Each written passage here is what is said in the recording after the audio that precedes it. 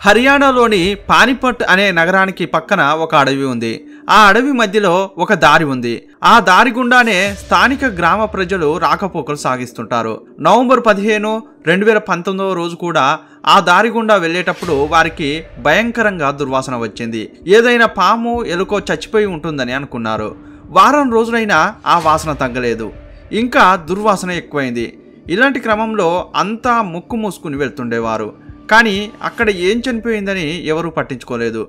ఒకరోజు ఒక వ్యక్తి ఆ వాసన ఏంటని వెతికాడు. పొదల్లో నుంచి ఆ వాసన వస్తుందని అక్కడికి వెళ్ళి చూస్తే ఒక లేడీ చూడీదారు వేసుకున్న క్రమంలో చనిపోయి పడి ఉండడం గమనించాడు. అది చూసిన వెంటనే పోలీసులకు కాల్ చేసి చెప్పాడు. అక్కడికి వచ్చిన పోలీసులు డెడ్ బాడీని శవ పరీక్షకు పంపించారు. ఆ అమ్మాయి చనిపోయి పదిహేను నుంచి ఇరవై రోజులు అయి ఉంటుందని ఆమె బాడీలో రెండు బుల్లెట్లు ఉన్నాయని వైద్యులు చెప్పారు. ఆమెకు ఇరవై ఏళ్ళు ఉంటాయని వారు చెప్పారు. వెంటనే పాన్పట్ పోలీసులు చుట్టుపక్కల ఏదైనా మిస్సింగ్ కంప్లైంట్ ఉందా అని చెక్ చేశారు. వైద్యులు ఇచ్చిన రిపోర్టు ప్రకారం చెక్ చేస్తే చుట్టుపక్కల ఎలాంటి కేసు నమోదు కాలేదు. వెంటనే వారి దగ్గర ఉన్న ఇన్ఫర్మేషన్ను పాస్ చేస్తూ పక్క రాష్ట్రాలకు పంపించారు. పక్కనే ఉన్న ఢిల్లీలోని పోలీస్ స్టేషన్లకు కూడా ఈ ఇన్ఫర్మేషన్ పాస్ అయింది. జానక్పురి అనే పోలీస్ స్టేషన్లో ఇరవై ఐదేళ్ళ నాన్సీ అనే అమ్మాయి కనిపించడం లేదని పేరెంట్స్ మిస్సింగ్ కేసు పెట్టడం గమనించారు. వెంటనే పోలీసులు ఆ డెడ్ బాడీని గుర్తుపట్టడం కోసం కంప్లైంట్ ఇచ్చిన నాన్సీ తండ్రిని పిలిపించారు. హర్యానాకు వెళ్ళి డెడ్ బాడీని చూసిన అతడు తన చేతికి ఉన్న ఉంగరం చేతికి ఉన్న టాటూ చూసి తను తన కూతురే అని చెప్పాడు. ఆ తర్వాత డెడ్ బాడీని వారికి అప్పగించారు. అసలు నాన్సీకి ఏం జరిగిందని ఢిల్లీ పోలీసులు విచారణ చేయడం ప్రారంభించారు. ఇంతకీ ఈ కేసులో ఏం జరిగింది? ఆమెను ఎవరు చంపారు? కారణాలేంటి? అనే వివరాలను తెలుసుకుందాం. రెండు వేల పంతొమ్మిదిలో ఢిల్లీని అదిరిపడేలా చేసిన కేసు గురించి ఈ వీడియోలో చూద్దాం. మీరు చూస్తున్నది తెలుగు మిస్టరీ. రండి ఇవాటి వీడియోలోకి వెళ్దాం.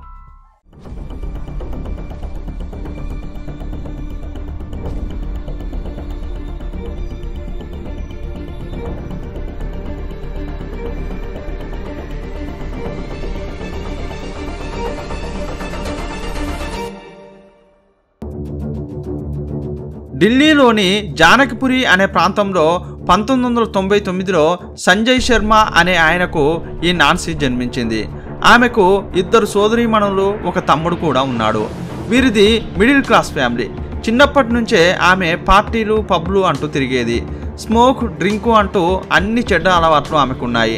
తన తండ్రి ఇచ్చే పాకెట్ మనీతో జల్సాలు చేసేది. ఆమెకు చాలా మంది ఆడ మగ దోస్తులు ఉండేవారు. రెండు వేల పదిహేనులో ఆమెకు పదహారేళ్ళప్పుడు బర్త్డే పార్టీకి అని ఇంట్లో చెప్పి ఒక పబ్కు వెళ్ళింది. అక్కడికి ఆమె ఫ్రెండ్స్ కూడా చాలా మంది వచ్చారు. అందులో సాహిల్ అనే అతడు కూడా ఉన్నాడు. అతనికి నాన్సీ చాలా బాగా నచ్చింది. ఆమెతో అతడు మాట కలిపాడు. ఇద్దరు కలిసి డ్రింక్ చేశారు. సాహిల్ తండ్రి బిజినెస్ మ్యాన్. అతడు ఒక ధనవంతుని కొడుకు. అతనికి పద్దెనిమిదేళ్ళు. కానీ అతడు సొంతంగా ఒక ఆటోమొబైల్ షాప్ పెట్టుకున్నాడు. అంతేకాకుండా సెకండ్ హ్యాండ్ కార్లను కూడా అమ్ముతుండే వ్యాపారం చేస్తున్నాడు. నాన్సీ ఒక పేదింటి అమ్మాయి అని తెలిసి ఆమెను ప్రేమించాడు. ఇద్దరు తరచుగా ఫోన్లో మాట్లాడుకునేవారు. ఆ టైంలో ఆమె ఒక మైనర్. ఇలాంటి క్రమంలో పెళ్ళి చేసుకోవాలని అనుకున్నారు. కానీ వీరి ప్రేమ విషయం ఇంట్లో తెలియదు. తన గురించి మీ ఇంట్లో చెప్పమని నాన్సీకి సాహిల్ చెప్పాడు. అదే ప్రకారం నాన్సీ తండ్రి దగ్గరికి వెళ్ళి తన ప్రేమ విషయం చెప్పింది. అతడు తనను బాగా చూసుకుంటాడని ఒక ధనవంతుడి కుమారుడని చెప్పింది. కానీ నాన్సీ తండ్రి ఏమీ మాట్లాడలేదు. నువ్వేం చెప్పట్లేదని నాన్సీ అడిగినప్పుడు ముందు నీ చదువు సంగతి చూసుకో అని కోపంగా చెప్పాడు. మరుసటి రోజు సాహిల్ నాన్సీ మీట్ అయ్యారు తన తండ్రి ఒప్పుకోలేదని నాన్సీ చెప్పింది. ఇలాంటి క్రమంలో సాహిల్ గురించి నాన్సీకి తెలియకుండానే ఆమె తండ్రి విచారణ చేశాడు. ఆ అబ్బాయి డ్రింక్ చేస్తాడని చాలామంది అమ్మాయిలతో తిరుగుతాడని ఆయనకు తెలియవచ్చింది. దీని గురించి నాన్సీని అడిగినప్పుడు అదంతా అబద్ధమని అతడు అలాంటి వాడు కాదని తన తండ్రితో ఆర్గ్యుమెంట్ చేసింది. నీకు పదహారేళ్ళు మాత్రమే కాబట్టి ప్రేమ గీమ కాకుండా చదువుపై దృష్టి పెట్టమని చెప్పాడు. కానీ నాన్సీ తన ప్రేమకు ఒప్పుకో అని తండ్రిని తొందరపెట్టేది. ఇలాంటి క్రమంలో ఇంట్లో గొడవలు జరిగాయి. నువ్వు ఇలాగే ప్రవర్తిస్తే సాహిల్ ఇంటికి వెళ్ళి నువ్వు ఇంకా మైనర్వేనని అతని పేరెంట్స్కి చెప్పి గొడవ పడతానని నాన్సీ తండ్రి చెప్పాడు. ఇకపై నేను ఈ ఇంట్లో ఉండలేనని నేను సాహిల్తో వెళ్ళిపోతానని చెప్పి నాన్సీ వెళ్ళిపోయింది. కానీ అదే తన కూతురును చూసే చివరి రోజు అని ఆ తండ్రికి తెలియదు. తను ఇంటిని వదిలి వచ్చానని సాహిల్కు చెప్పగానే అతడు ఆమెను రిసీవ్ చేసుకున్నాడు. అయితే తనకు ఇంకా పదహారేళ్ళు కాబట్టి పెళ్ళి చేసుకోరాదు కాబట్టి ఇద్దరు లివింగ్ టుగెదర్లో ఉండాలని అనుకున్నారు. తన దగ్గర ఉన్న డబ్బుతో సాహిల్ ఒక అపార్ట్మెంట్లో ఫ్లాట్ అద్దెకి తీసుకున్నాడు.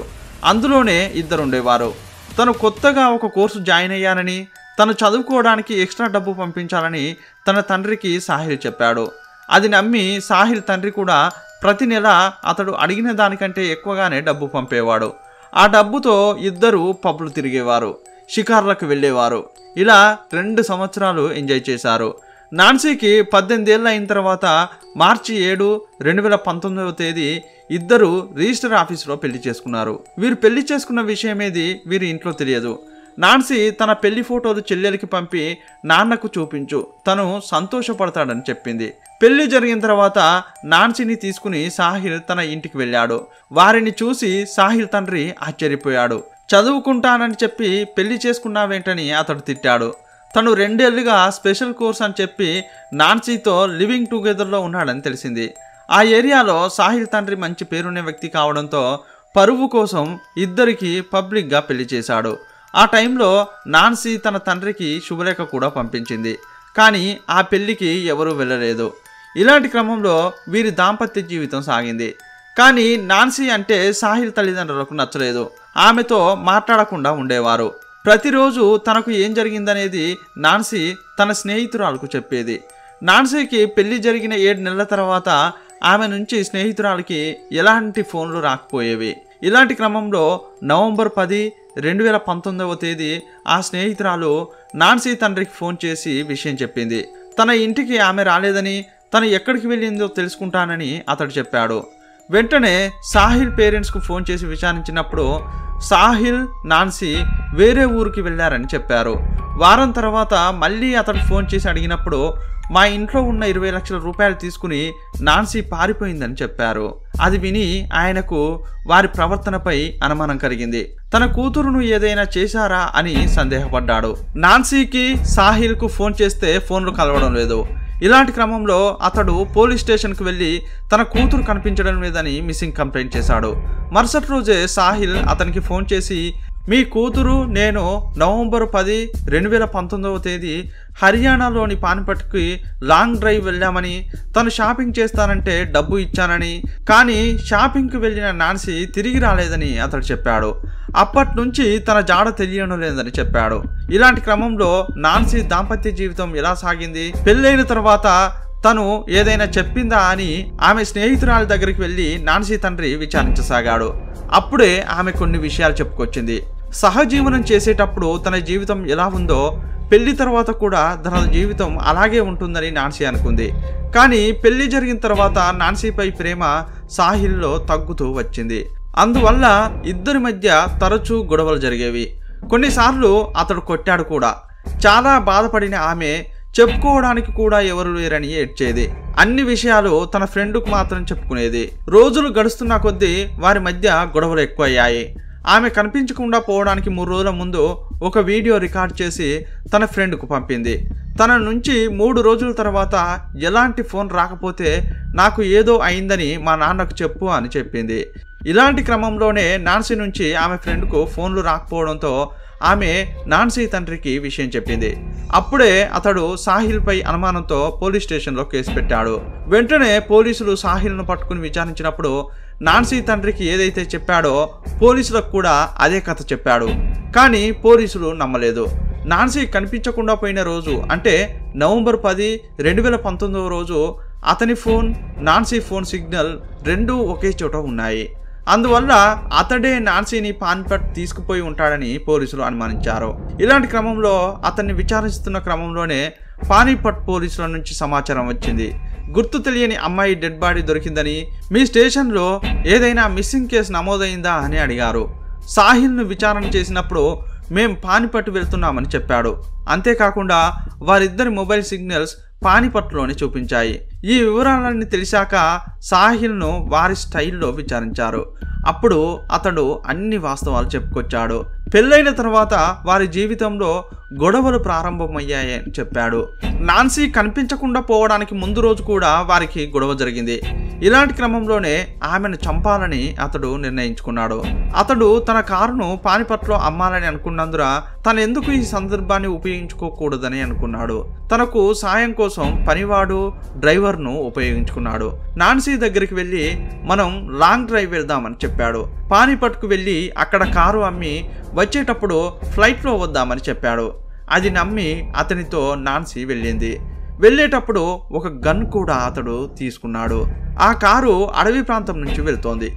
ఇలా ఎందుకు వెళ్తున్నావని నాన్సీ అడిగినప్పుడు ఇది షార్ట్ కట్ అని చెప్పాడు.